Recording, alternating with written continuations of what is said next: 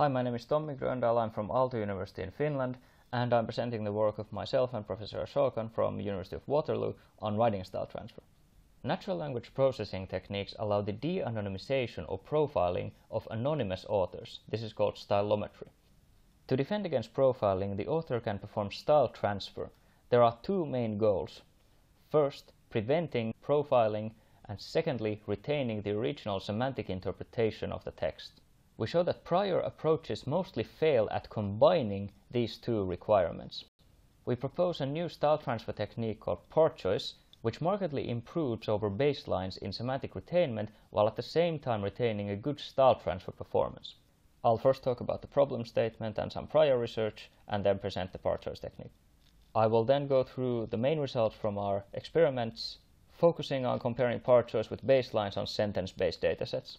Finally, I'll summarize some of the take-home messages and present some pointers for future work. Starting from the problem statement, Stylometry can be used to identify authors by writing style or profile them based on some property like gender or age. Features typically include word or character n-grams or grammatical features such as those pooled under the WritePrints group. The availability of these stylometry techniques allows an adversary to use them for de-anonymization or profiling of deliberately anonymous authors with potentially harmful or even dangerous consequences to these authors. To defend against this, the author can do style transfer to change the writing style of the original text in such a way that aims to change the prediction made by the author profile that the adversary uses. A second very important criterion for style transfer is that the semantic interpretation of the original text is retained to a maximal extent.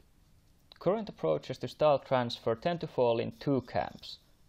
Encoder-decoder networks are sequence-to-sequence -sequence architectures typically using recurrent neural networks like LSTMs. They try to produce a style-neutral latent encoding of the input and then decode it to the target style. Even though they're currently the dominant approach to style transfer, they exhibit quite poor semantic retainment and also require separate training for each dataset. Rule-based paraphrasing allows better control of semantic retainment but tends to have a limited applicability. Our technique is called paraphrase choice or ParChoice, and it combines multiple paraphrasing techniques to generate a large number of candidates. It can be used with many different selection schemes for choosing the best performing paraphrase depending on the task. We compare ParChoice across multiple datasets with three encoder-decoder baseline techniques and two rule-based baseline techniques. We demonstrate that ParChoice has the best combined effect of style transfer and semantic retainment. Now I'll go through the main aspects of the ParChoice technique. It has two parts. First, paraphrase generation, which produces a large number of candidate paraphrases and is independent of the style transfer task. Secondly, paraphrase selection, which is a task-specific selection from among the candidate paraphrases based on how well they're able to evade a surrogate profiler, which can be the same as or different from the targeted author profiler we aim to evade. The paraphrase generation task can be divided to three parts. For grammatical transformations, we use passive to active, negative to affirmed, and question to declarative transformations, with some additional material to retain the original meaning of the sentence. For example, a yes-no question like Did John see Mary could be paraphrased as Is it true that John saw Mary? As external knowledge bases for paraphrase replacements, we use PPDB and WordNet, and we also use a small set of simple rules that we have programmed ourselves dealing with things like modal auxiliaries and punctuation. To further increase the readability of the output, we filter out ungrammatical output from PPDB by syntactic context information and use a corpus-based technique for inflecting originally uninflected lemmas from WordNet. For typos, we go through the target style examples of the original training set and gather a dictionary from correctly spelled words to their possible misspellings via SymSpell in that corpus. In paraphrase selection, we choose the candidate that minimizes the likelihood of the surrogate profiler classifying it as the actual class. We experimented on three different types of surrogate profiler. With query access, the surrogate profiler was the same as the targeted author profiler itself. With data access, the surrogate profiler had a different architecture but the same training data as the targeted author profiler. With surrogate access, the surrogate profiler differed from the targeted author profiler in both architecture and training data. we conducted multiple experiments across different types of data and tasks.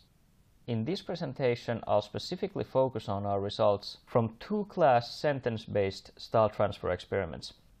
These experiments were conducted on four datasets and ParChoice was compared with three baselines. There were two larger datasets of around 2.5 million training examples for the profiler, consisting of gender-labeled Yelp review sentences and age-labeled blog post sentences respectively. The two smaller datasets are labeled by author identity. Alice Bob contains blog post sentences from the blog age dataset by only two authors who we call Alice and Bob. Trump Obama contained sentences from political speeches by the two most recent US presidents. We divided each training set to a separate profiler training set and a surrogate training set the size of the surrogate training set was always 15% of the size of the profiler training set. All three baselines in these sentence-based experiments were encoder-decoder techniques. The cross-aligned autoencoder or CAE baseline is an autoencoder that uses a technique called cross-alignment for enforcing that the encodings coming from different source styles are aligned in the latent space. It then decodes text in the target style from this latent encoding. Back translation or BT is similar to CAE except instead of cross alignment it uses back and forth machine translation for attempting to align the encodings from two target styles. For determining the style, it queries a CNN classifier that we also used as an auto-profiler in our experiments. A4NT is a generative adversarial network or GAN that trains a decoder to generate text in the target style while at the same time training a classifier to correctly detect the style from the decoded text. It also includes a reconstruction loss from the original text that results in minimizing changes to the original to only those that are relevant for the style transfer. As the classifier architecture, it uses an LSTM, which we also use as one of our auto-profilers prior to the GAN training. We compare the baselines to six ParChoice variants overall that differ in paraphrase selection and the access assumptions to the auto-profiler or its training data. First, we experiment on query access to each of our three author profilers which we will present in a forthcoming slide. There's an LSTM profiler, a CNN profiler, and a WritePrints profiler. As our separate surrogate profiler architecture, we use word unigram-based logistic regression we have two variants of this surrogate profiler. The first one trained on the same training data as the targeted author profilers, and the second one trained on the separate surrogate training data that we discussed before. Finally, we also experimented on fully random paraphrase selection that had no access to anything. On this slide, we show meteor scores between original and transformed sentences by each style transfer technique on all four datasets. Meteor measures n-gram overlap with additional synonym and paraphrase information. The CAE and BT baselines always result in the worst scores shown here in red. In the smaller datasets Alice Bob and Trump Obama, CAE and BT don't even exceed 10 in meteor scores, which practically means absolutely no semantic retainment. A4NT received quite good scores in the large datasets Yelp Gender and Blog Age, but significantly declined in the smaller datasets. On manual evaluation, it received no semantic retainment on these datasets in this respect corresponding to CAE and BT. In green, we have shown those ParChoice values that are higher than any of the three baselines. In all datasets except blog age, all variants of ParChoice exceed all baselines. In all datasets, ParChoice CNN gets the highest score among all techniques compared. While there was some variation between different ParChoice techniques, overall ParChoice received similar scores between 40 and 50 in all datasets. Contrasting all three baselines, ParChoice's performance was not negatively affected by dataset size. This is because ParChoice's paraphrase generation is completely independent of the dataset and only paraphrase selection is task specific. For evaluating style transfer, we measured the accuracy decrease, that is how much original accuracy went down after style transfer. As mentioned before, we used two deep learning classifiers, a CNN and an LSTM, both of which use words as input features. The BT baseline and the ParChoice CNN variant query the CNN classifier, and the A4NT baseline and the ParChoice LSTM variant query the LSTM. We additionally use the multilayer perceptron classifier trained on the WritePrints features. We query this with the part choice WritePrints variant, but no baseline queries it. Original accuracies on each dataset are shown here.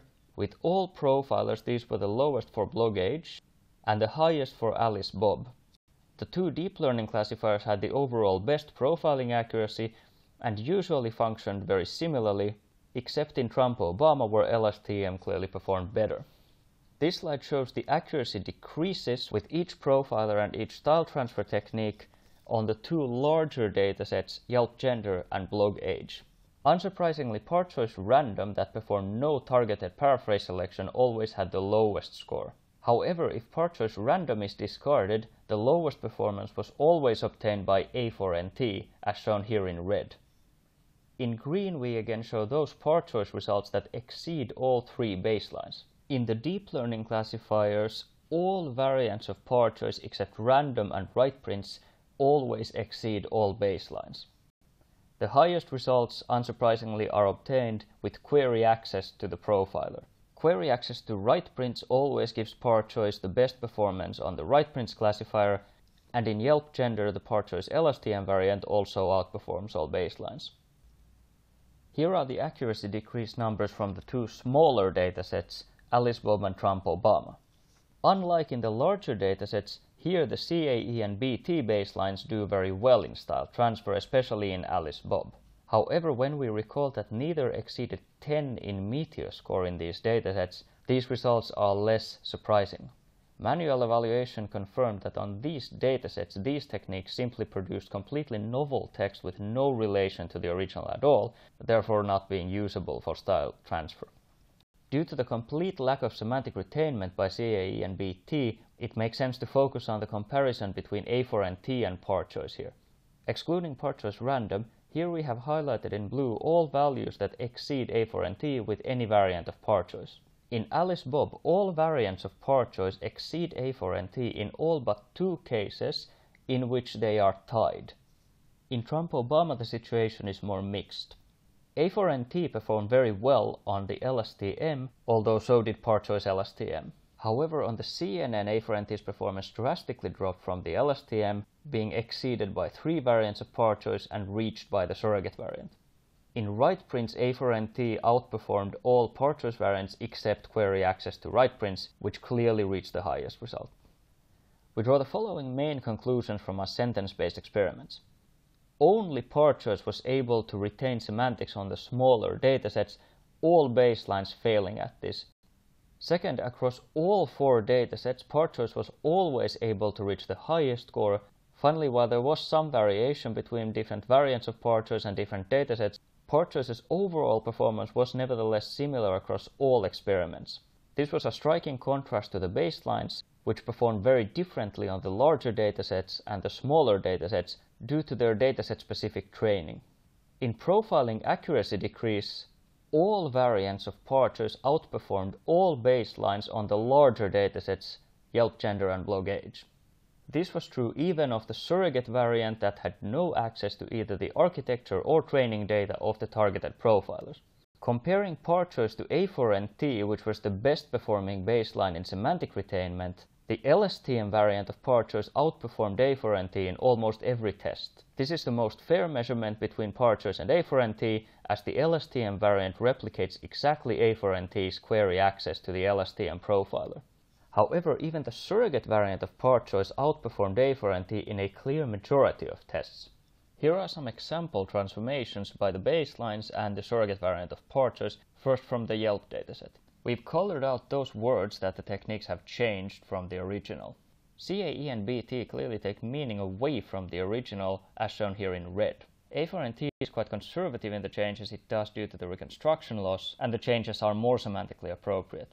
Part does more transformations, which have a clear semantic similarity to the original. These examples are from one of the smaller datasets Trump-Obama. Here CAE and BT completely change the meaning of the original, and BT doesn't even result in a grammatical sentence. A4NT again retains much of the original. Here the change it brings is clearly semantically inappropriate.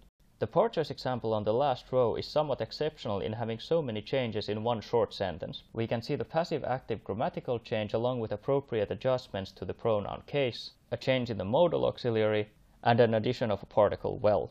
This example quite nicely shows the potential of choice.